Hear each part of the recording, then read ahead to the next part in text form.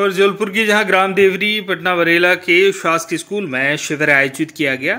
साथ ही यहाँ पर बुज़ुर्गों का सम्मान किया गया। विधायक इंदु तिवारी की मौजूदगी में कार्यक्रमों का आयोजन हुआ। प्राचीन बुद्धि खीर में और हरदौल मंदिर का उन्होंने उद्घाटन किया।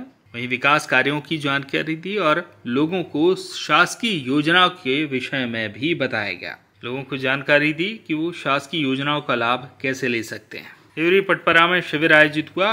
मुख्यमंत्री स्वरोजगार योजना, प्रधानमंत्री स्वरोजगार योजना समेत तमाम विषयों को लेकर जानकारी दी गई। यहाँ एक मेले का आयोजन भी किया गया, जिसमें लोगों ने बढ़ चढ़ हिस्सा लिया। मैं ग्राम पंचायत सचिव देवरी पटपरा। आज हमारी ग्राम पंचायत में शिविर लगा है स्वास्थ्य संबंधी। इसमें जो भी लोगों को जो भी समस्या है वो निशुल्क यहाँ पे दी जा रही है और उनको काफ़ी सुविधाएँ दी जा रही है और योजनाओं के लाभ के बारे में भी बताया जा रहा है। और आज हमारी ग्राम पंचायत में रोड के विकास के लिए हरदौल मंदिर के लिए प्रस्ताव भी पास किया गया है।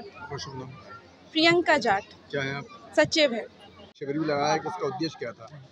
ग्राम देवरी पटपरा बरेला में आज शिविर का शासकीय स्कूल में शिविर का आयोजन किया गया।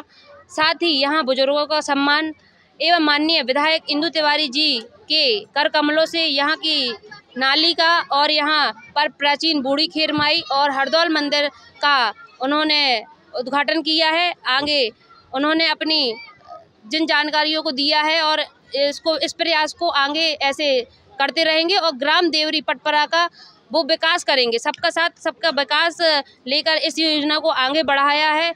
आज छोटा सा उद्देश्य था इस कार्यक्रम का कि जो गाँव में लोग रहते हैं तो उनको यह अवगत अवगत कराया जाए कि शासकीय योजनाओं का लाभ हम कैसे ले सकें।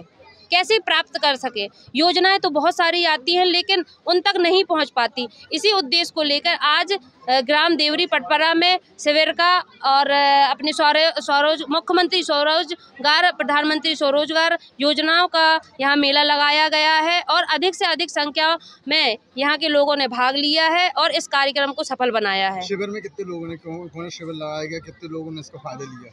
आज शिविर में कम से कम डेढ़ सौ लोगों ने स्वास्थ्य शिविर का लाभ लिया है और सौ लोगों ने यहाँ पर स्वरोजगार गारंटी की जानकारी ली है कि कैसे हमें इस योजना का लाभ प्राप्त कर सकते हैं। इस मंच के द्वारा कैसे उनको ये योजना का लाभ पहुँचाए, उसके बारे में बताया गया है और यहाँ पर भंडारे का भी आयोजन किया गया है। मैं मंजू सोनी सर्व सड़कार महिला उत्थान समिति जबलपुर। जबलपुर से आशीष बात्रे की रिपोर्ट।